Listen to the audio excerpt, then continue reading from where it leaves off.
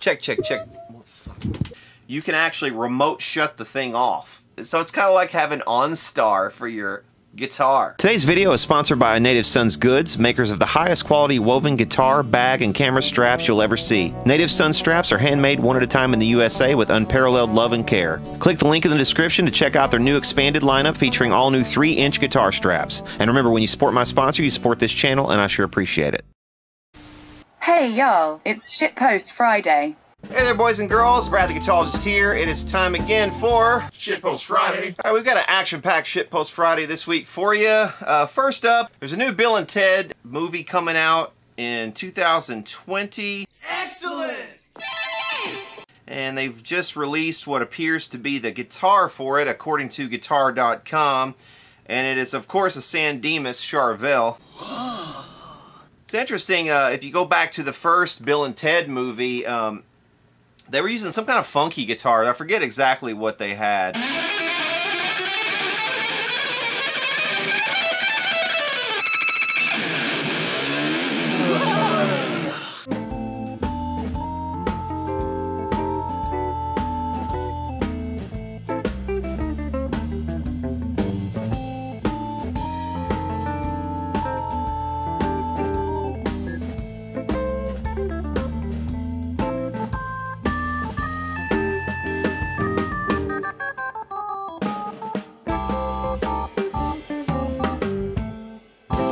Also in the news, it appears that this story is going a bit viral. This is Sir Paul McCartney making his own guitar picks, pictured in New York's Hamptons, placing several one cent coins along the tracks of the Long Island Railroad. You can visit one of my sponsors, Forever Pick, and you can uh, uh, buy these picks.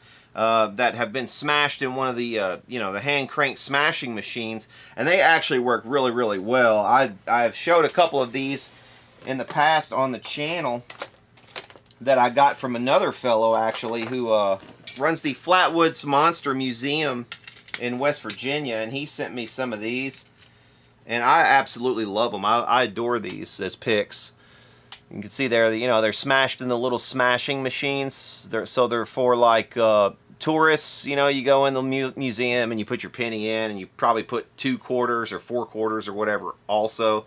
And then you crank the thing and it smashes you a penny. But this thing is like perfect for a pick.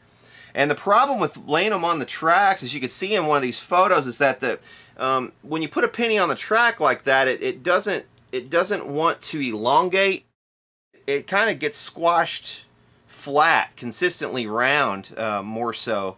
So you don't kind of get this elongated effect. Um, that's you know that gives you a better grip and gives you a more more of a surface to grip on. So I'm not sure. You know, I've never tried that putting uh, stuff on. I don't have a railroad uh, close to my house that runs really, so. Uh, uh, I can't, you know, I can't do that easily. But, uh, you know, if you guys do have one, um, film it for me. Uh, do me a favor. Yeah, go take take some pennies out, put them on the line if you live next to a railroad track, and film it happening and see what they come out like. I would be really interested to see um, whether how well it works um, because it seems to me like once again it, they would turn out a little bit too round for my taste. But um, it would just be interesting to see uh, what, especially also what Paul McCartney is using. Apparently he's been doing this for a while. It looks like this is part of his kind of routine. So very, I just thought it was interesting because we've talked about this on this channel before. Uh, you know, people putting this, uh, putting pennies on railroad tracks and having the train smash them into uh, guitar picks. And, you know, just the fact that Paul McCartney is doing this is kind of neat. He could probably call somebody and just have them go get him a thousand guitar picks, but he's actually going out and doing this himself, you know. I think once you reach this age and you have this level of fame, you know, it's just like anything you can do probably to make your life seem or feel normal is is, is probably uh, is probably a really good thing. I doubt he can go very many places and not get recognized and uh, not get hounded and maybe somewhere, you know, besides some remote railroad tracks would be about the only place. Pretty cool though. Okay, I saw this story also, and I'm, I'm highly skeptical, to be honest with you, of the merits of this particular story. Um, but I thought I would share it with you anyway, just because it's kind of interesting and it's, it's recent. Uh, this was published on July the 30th of this year in uh, on a website called therichest.com, which I've never heard of before, so I don't, you know, I, again, I don't uh, know what how valid any of these numbers are that they, you know, purport to have on this, but I thought it was interesting. They they count down the 10 highest paid guitarists in the world, and I guarantee you numbers 1 and 2, you had no idea. so, starting with number 10, Tom Petty, I, I guess, you know, even though he's dead, he's still raking in $95 million a year, something like that, it, it looks like. Angus Young at number 9 with $140 million. Dave Grohl, uh, looks like he raked in uh, 280 million bucks. Uh, Dave Matthews, which Dave Matthews for real, 300 million dollars. Oh, I guess it says this is his net worth. Uh, number six, Eric Clapton, which uh, you know I suppose you could kind of guess that one, but but then again he's pretty old and he doesn't even really play anymore. So, 300 million dollars is his worth. David Howell Evans, which of course is the Edge, at number was that number five at 340 million dollars. Keith Richards at number four, no surprise there at 340 million dollars. Uh, number three, Bruce Springsteen. I wouldn't have guessed Bruce Springsteen would have been above Keith Richards, but then again, Keith Richards has to split his uh, all of his earnings like four ways, so Bruce Springsteen really doesn't. but then you get to number two, and uh, Toby Keith. I never would have guessed Toby Keith at number two. But holy shit, there are a bunch of country fans, and uh, you know, there's a bunch of people buying really crappy music. I mean, he's apparently racked up $500 million of net worth, uh, which is just mind-boggling. We'll put a boot in your ass. It's an American way. The fact that Toby Keith is just above Keith Richards, you know, it's just insane. And then number one, I just, I mean, my wife will absolutely have a field day with this. She can't stand Jimmy Buffett, but Jimmy Buffett, number one, unbelievable to me. That Jimmy Buffett would be worth $600 million. That a dude that writes, you know, about about walking on beaches and, and kicking back in the shade and shit is worth, you know, the better part of a billion dollars. and I have to agree with my wife on this. I think Jimmy Buffett, you know, in spite of his legendary status, Jimmy Buffett has written some of the some of the worst, uh, most infectious earworms I blew out my flip flop, that have ever been written. And you know, once they're in there, stepped on a pop top. they pretty much make you want to tear your brains out the back of your head. Away again. We're hot, stinging.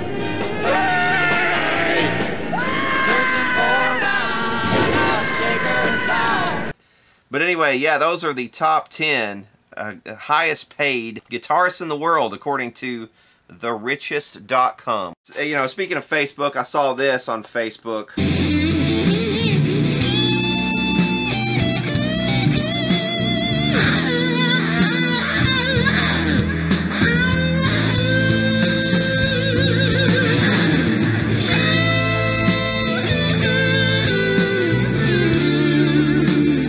Okay, Generation Xers, what did this remind you of? Of course, it reminded you of Police Academy. My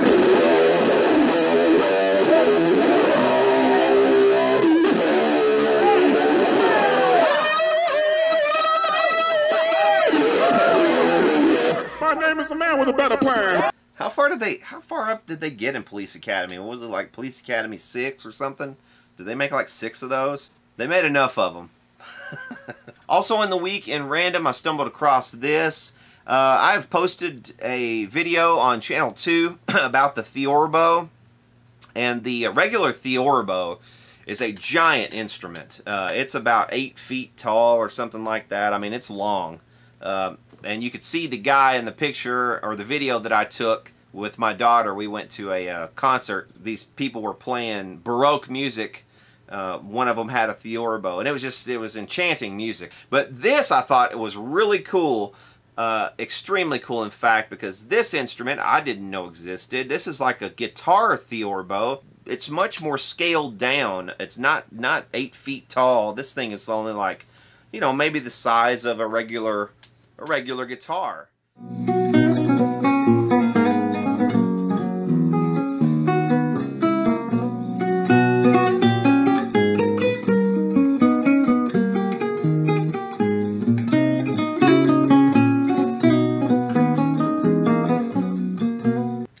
You know has some bass strings. It reminds me of a harp guitar, you know, the harp guitars that we saw in the early 1900s. You know, Gibson made some of them, and Dyer Brothers made some examples of harp guitars, and other manufacturers too, around the turn of the, the last century. And that's what it kind of reminds me of, is a harp guitar. I wonder if the harp guitar actually just got its inspiration from this, the guitar Theorbo.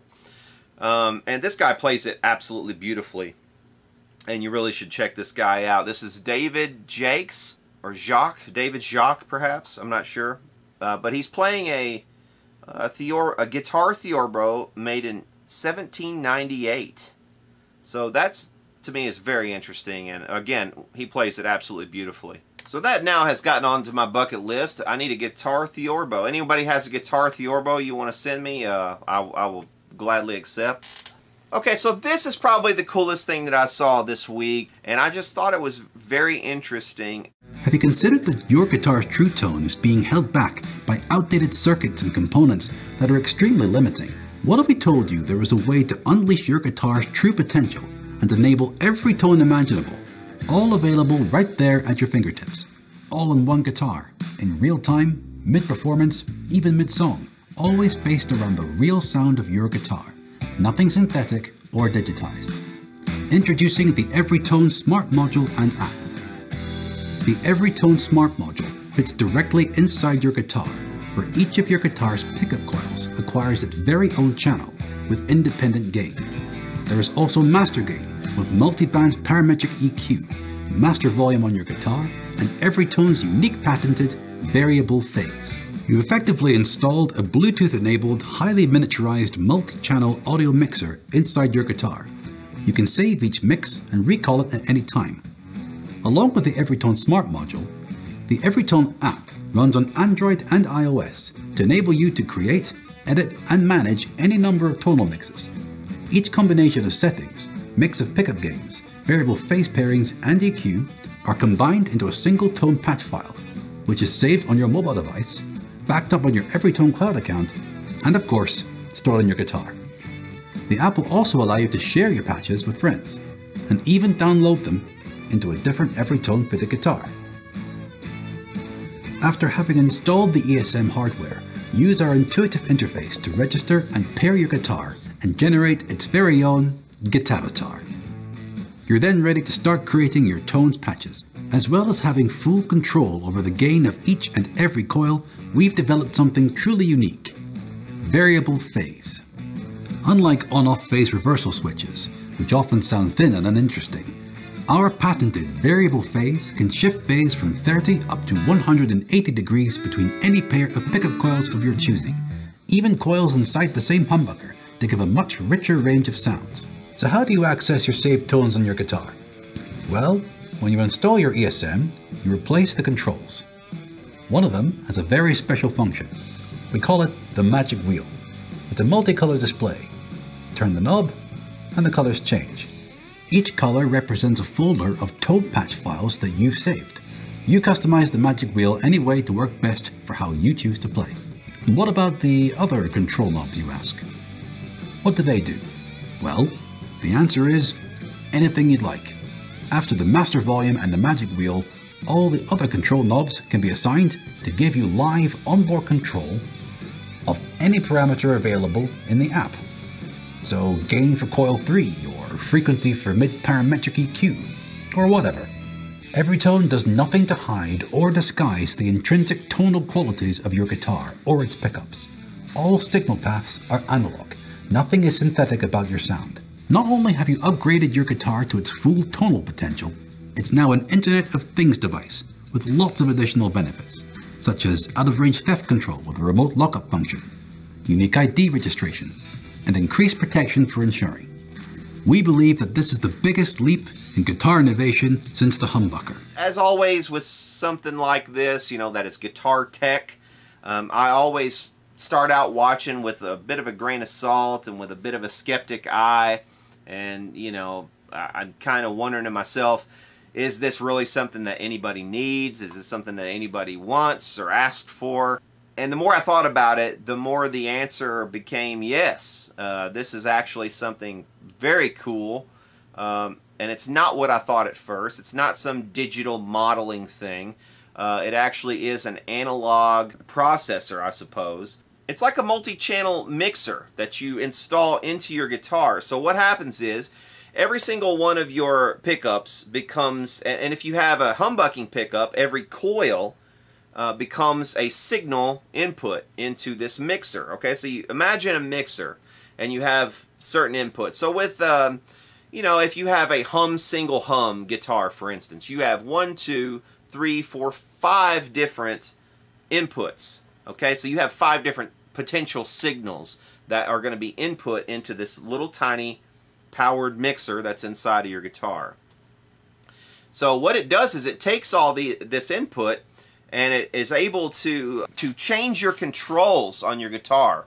So you, you can pair this thing with an app and you can actually using your app on, on your phone or whatever, it's Bluetooth capable so you can actually dial into the thing with an app on your phone. So you can sit here with your guitar on, dial into it with Bluetooth on your phone, bring up the app, and you can change the controls on your guitar so that you know you, the what was the volume control perhaps for the bridge pickup uh, now has become the volume control for the neck pickup. Or maybe the uh, tone control is now a master tone control. Or maybe maybe it uh, you can change the value of that tone control so that you know when you move it a certain amount it it will actually change the amount that you know it changes it's different than I suppose modeling. It's not it's not modeling. You're actually able to do a lot with this that I wouldn't have guessed. Uh, and actually, it, and it makes sense the more you think about it. So what they've managed to do here is they've managed to take, let's say your humbucking pickup. You have two coils in your humbucking pickup. Uh, they can actually change the degree to which the two coils are uh, parallel to one another or they hum cancel. So they can actually change uh, by just by slight degrees the amount of phase cancellation. So they can make it completely in phase, uh, they can make it completely out of phase and hum canceling, um, or they can do any any varying degrees uh, in between. So it's just a really interesting technology. Uh, definitely something new. Uh, definitely something I thought at first that, that I was, that, you know, I was skeptical about and thought to myself, nobody needs this, nobody's going to want this. But then the more I kind of watched this video, the more I kind of had an epiphany that, yeah, they're they're probably right. This is kind of cool. And, uh, and of course, you know, you're using actual pickups in the guitar, so you still need to be able to have different pickup configurations in order for this to actually work. And you have parametric EQ on board, all kinds of cool things. Uh, actually, one of the things that kind of uh, struck me as funny the more I watched it was that uh, you know be because because you can register the thing online uh, and because it's Bluetooth capable and it you know it actually will talk to your phone or whatever you can actually remote shut the thing off uh, so if somebody steals your guitar you can actually shut it down so they can't use the guitar so it just won't come on or whatever that when they plug it in it just nothing will happen so it's kind of like having OnStar for your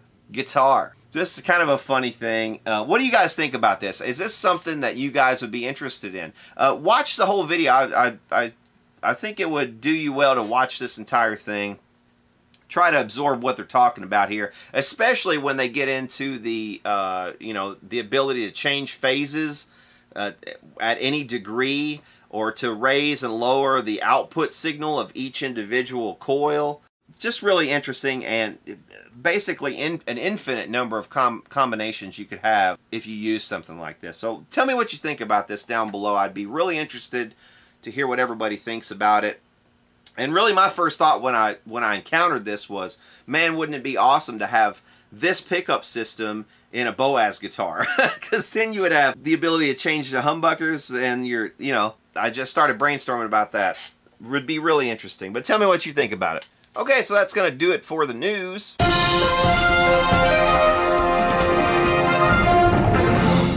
While back, a fellow named Don uh, sent me a bunch of packages full of these catalogs, and he sent me a couple of boxes of stuff, and I opened a couple of them and started to kind of go through them here on this uh, on this channel. Uh, but he has since sent me like three more boxes, one, two of them being enormous. So what I thought I might do to round out this Shitpost Friday is, is open the smaller box that he sent that I still haven't opened yet. So let's check that out. Okay, if you guys have not seen the two previous videos that I showed of Don's catalogs that he sent, I will put a card up in the, in the upper right hand corner of the screen there where you can see a couple of those previous videos. I, I recommend you check those out. He, a lot of this stuff Don had been collecting obviously for many many years. He um, apparently started doing this I guess in the mid to late 80s or maybe even the late 70s. The, the, the guy has all kinds of stuff. And we'll see what's in this particular box. We've got, uh, again, just a box chock full of old catalogs, man. I mean, this is just crazy, over the top amount of stuff um, that this dude has preserved over time. This is just a treasure trove, really, of, uh, of, of, of stuff. But it says, uh, Brad, I'm running out of time here in Oregon, so I had to ship everything at once. Sorry to surprise you. This box contains some oddball stuff and some forgotten makes and models. Uh, some from well-known companies and some long-forgotten custom makers, maybe. The Audio-Technica phono cartridge was good the last time it was used about 30 or 40 years ago. Probably could use a new stylus. Enjoy. Cheers, Don. So he I guess he gave me a Audio Technica stylus as well. That's awesome.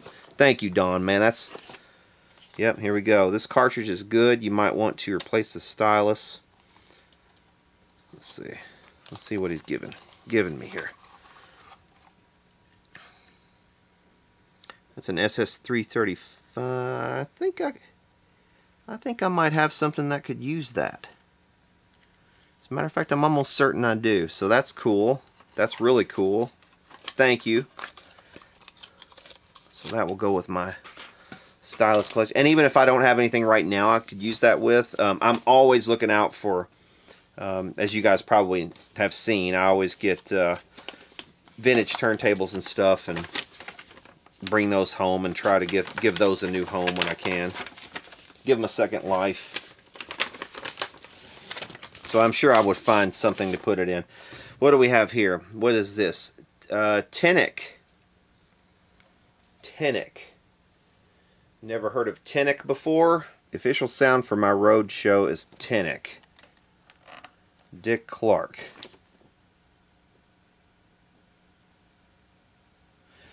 I've never before heard of this company.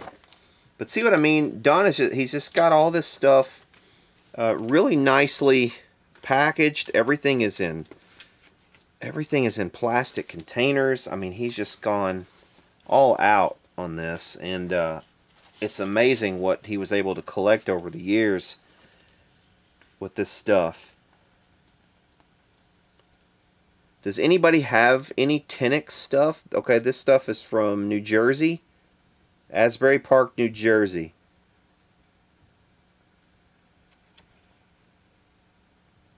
Who is that? Dale Wright and the Wright guys. Never heard of them. Obviously, I've heard of Dick Clark.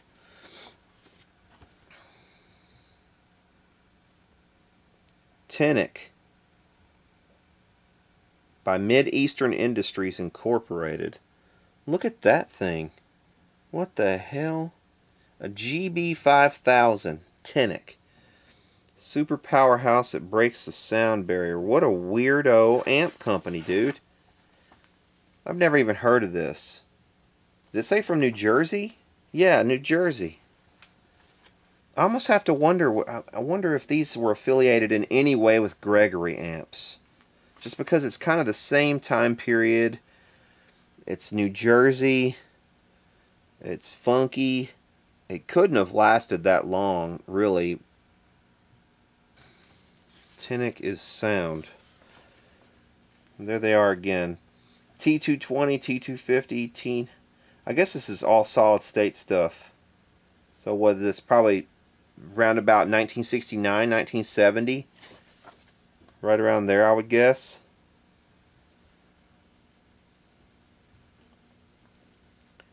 That is intriguing. Uh, does anyone out there have any of this stuff? Tinic. And this Baron. Okay, so this... Yep, this is also solid state, but check that out. It's just like the Tinic stuff. It, they've got the controls recessed into the front. Just funky. Look at that. And they're lit up too. wow. Look at the lights.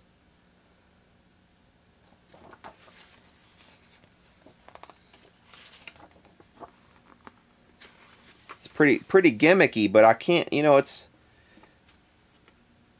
it's amazing that even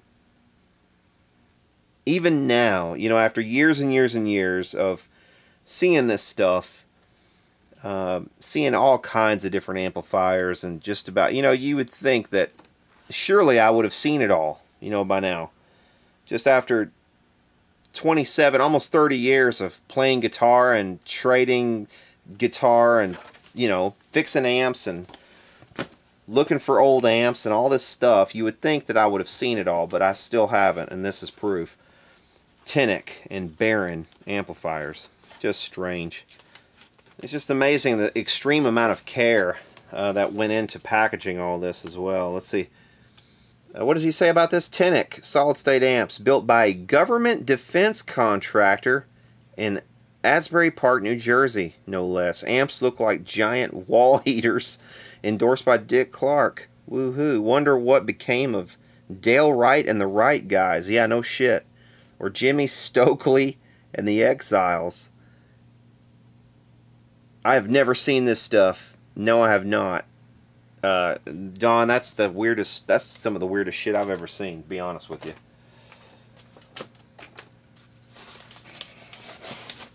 And I've seen some weird shit. Let's see what we have here. DiMarzio collection. Uh, good reference info for guitar techs. Very popular pickups back in the day. Don't know much about current trends. But the thing about DiMarzios in the 70s, those things are hard to date. I do know that because DiMarzios, they pretty much, you know, they didn't do anything different from like uh, when they began, I guess, what, in the early 70s.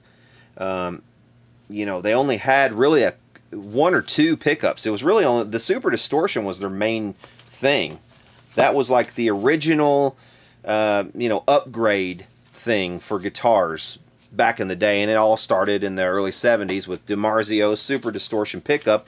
And to try to date those, or to differentiate like an early 70s one from like a late 70s or even an early 80s one, I don't even know if that's possible to do that. Um, maybe somebody at DiMarzio could do that, um, but I, I just don't know. The DiMarzio Guide for the Practical Guitarist. Yeah, see what I mean? This is like, this is really the beginnings of, of all of it. DiMarzio started it all. All of the uh, upgrade stuff, you know, the whole upgrade your guitar craze began right here with DiMarzio. I don't know how old this particular, this looks like it's probably more 80s.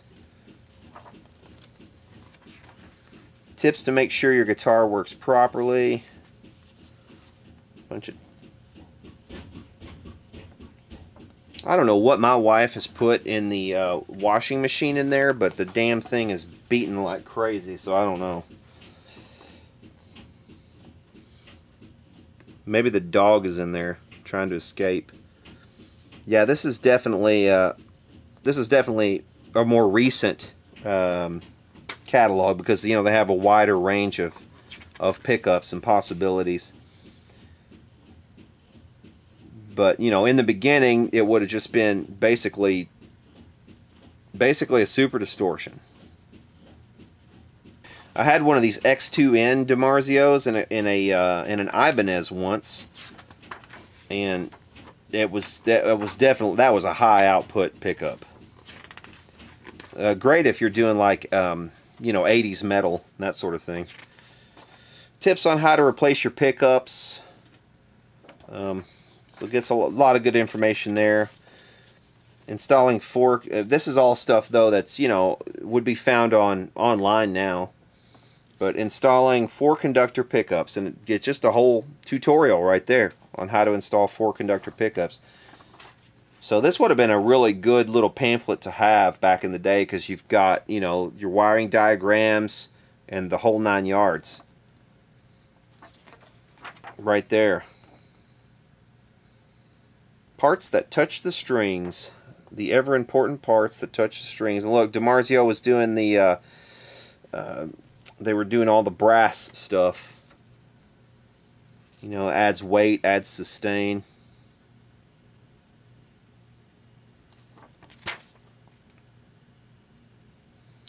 This does not have a year on it.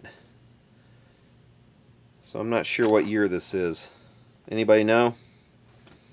That's cool. Look at that. That looks awesome. I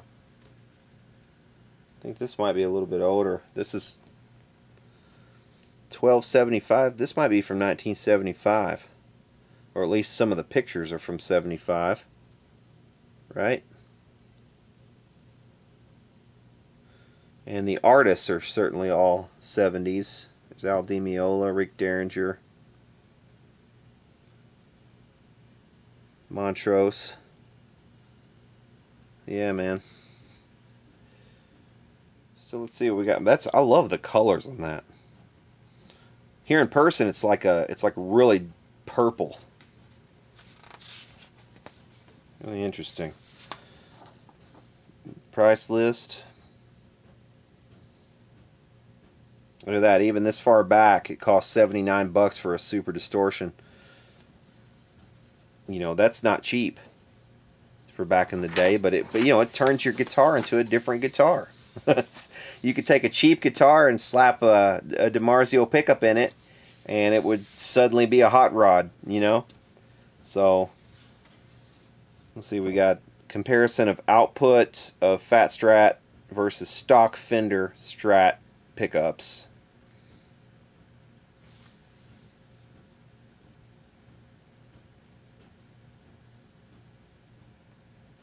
Yeah, there's a photo from late 76, so couldn't have been any earlier than that.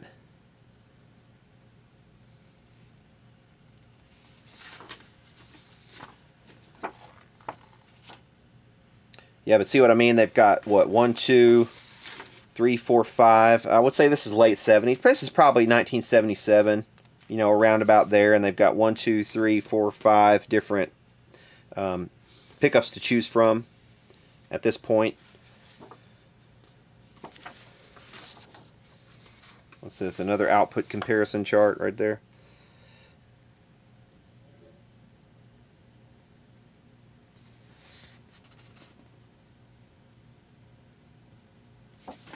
I'm trying to show you guys all this stuff. You know, if you want to pause it, if you want to do screenshots, you can. Um, you know, if you have an old DiMarzio and you're trying to if you're like me and you like to date things just just because it's fun, you know, I mean, um, a lot of times you'll get more money if you can pin down a date too for something if you're trying to sell something. But even if you're not trying to sell something, it's just it's just fun to do all the legwork, you know, to do the Sherlock Holmes thing, you know, and try to figure out how old something is. Uh, and may I don't know, maybe this uh, some of this will help you if you're into that sort of thing. There's uh, Al Di Meola there as well. Kind of a cool little brochure. Uh, this one is 1977. Look at that. The year I was born, 1977. How do you choose a pickup? And again, the Super Distortion is front and center because that's the one that they basically started with. They started the company with the Super Distortion early 1970s. Um, and it just became a thing, man. And I think um, what was it, BC Rich? Didn't they put uh, super distortions in from the factory in a lot of their guitars in the 70s? Because BC Rich was kind of like, you know, they were like the first, one of the first sort of boutique, you know, super guitars that was being made. Alembic also in the 70s, you know, was kind of in the same vein, you know, doing a lot of, uh, uh, multi-piece laminated neck through bodies and all that kind of stuff, and uh, and also you know like I said, putting uh, super distortions in from the factory in the early 70s. There's a Super 2, so by this time, by 77, they had a Super 2.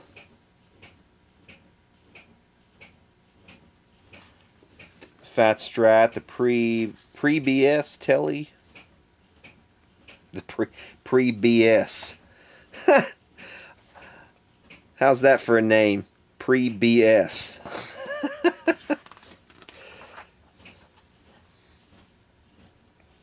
SD1 Model 1 bass. So how so they'd actually upped their game here. Added a few more models by this point. What is this key mix system? I've never seen that before. What is that? A key mix system. So this has got uh, acoustic. These are like a. These are a little acoustic pickups, uh, transducers. Yeah, a transducer piano pickup. Oh, okay, so I guess these will plug in. This is like for a piano, for keys or keyboard. So you would you would put you know plug these in at different spots on the on the keyboard and then put it through the mixer so you could dial everything in.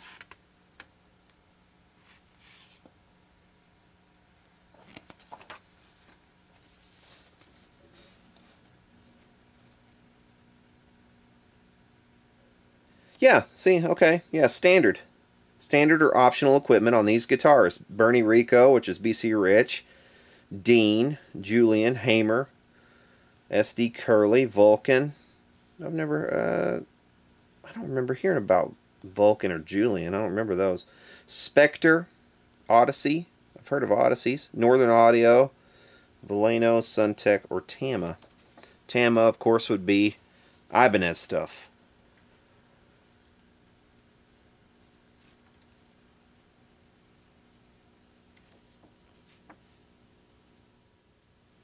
Very cool. I like that brochure a lot. That's that's a this this whole thing. Like I said, and we're just at the we're at the second little packet, and look, we've got packet after packet after packet after packet, and this dude Don has sent me um, umpteen different boxes like this, uh, just chock full of this stuff, man.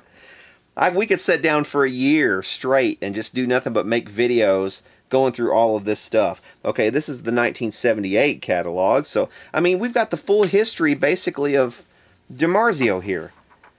You know, I mean, the full early history of DiMarzio is, is right here. This is just insane. God, that's, that's so cool with those super distortions. I mean, that's classic right there.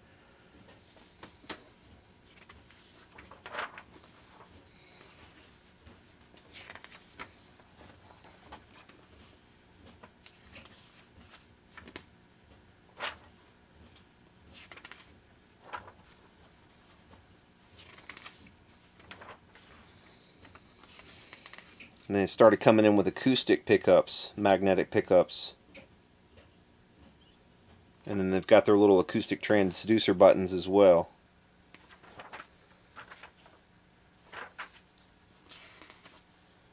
There's an upgraded version of the key mix system.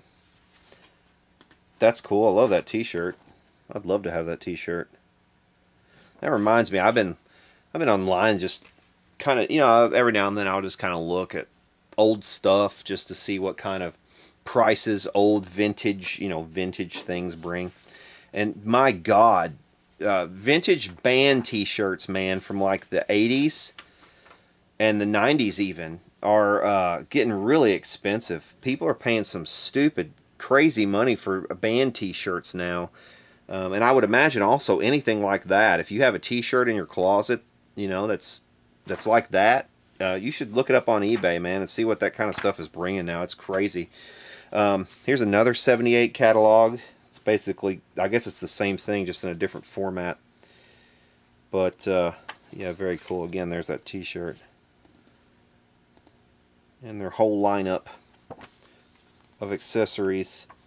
But yeah, just very cool, and that's just a, you know, again, um, another piece of DiMarzio history, and then you've got things like, you know, when you see the pictures like this and you're nailing it down to certain years, and you've got, you know, pictures of artists with their straps and their guitars, and you can see all the different models everybody was using at the time. Um, just, just cool stuff, man. There's Roy, Roy Buchanan.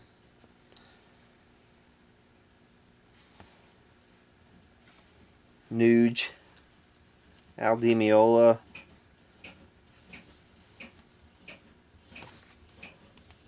Cool. And here we've got what 79 suggested retail price list.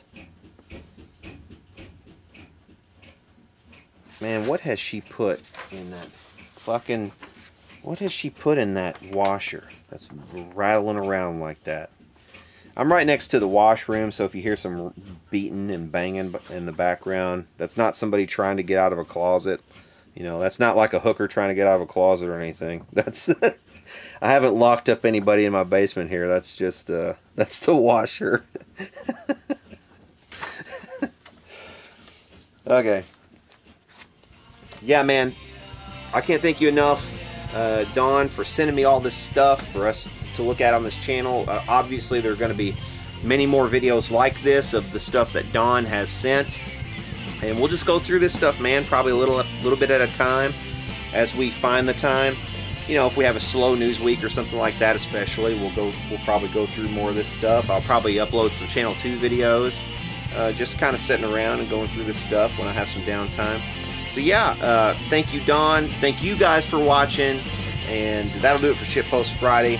Hit subscribe down below, and for now, y'all take care.